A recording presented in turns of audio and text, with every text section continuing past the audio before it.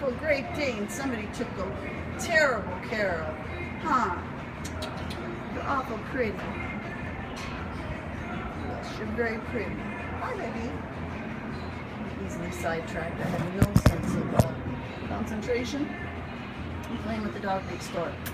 Come here, baby. Oh, he's really sad. Anyway, Kennel 83 at Devore Shelter. This guy's gonna need.